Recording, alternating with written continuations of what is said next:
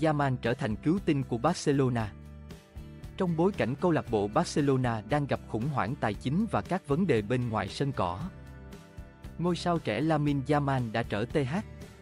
Lamine Yamal có một mùa hè tuyệt đẹp cùng đội tuyển Tây Ban Nha với chức vô địch Euro 2024.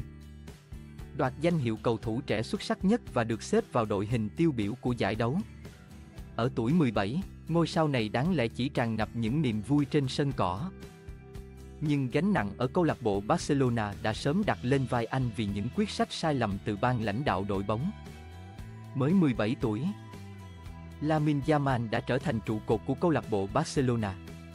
Nhiều năm nay, Barcelona luôn phải vật lộn với bài toán tài chính trước mỗi mùa giải.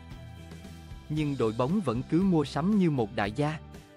Sau khi buộc lòng phải để danh thủ Messi tự do ra đi hồi mùa hè 2021, đội bóng chủ sân Nou Camp dưới thời chủ tịch Hoàng Laporta vẫn chi hàng núi tiền mua cầu thủ.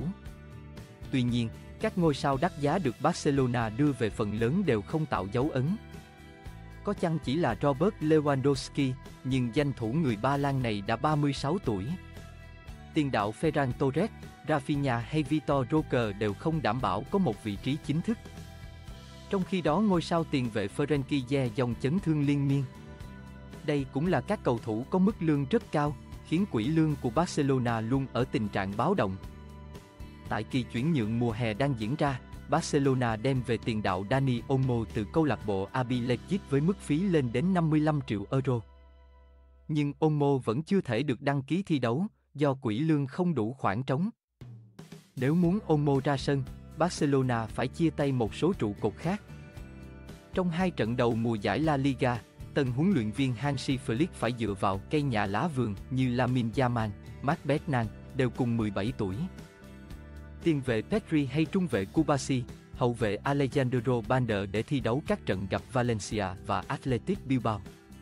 Chính Lamin Yaman đã góp công lớn khi ghi một bàn và một kiến tạo thành bàn giúp Barcelona toàn thắng hai đối thủ này cùng tỷ số 2, 1 để khởi đầu hoàn hảo mùa giải La Liga.